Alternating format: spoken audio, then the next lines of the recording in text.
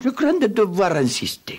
Faut comprendre. Ma femme m'a rendu sourd à force de hurler au sujet de l'argent des bretzels. Où est l'argent? Quand tu vas récupérer l'argent Pourquoi tu n'as pas encore cet argent? Et ainsi de suite. Alors s'il vous plaît, l'argent.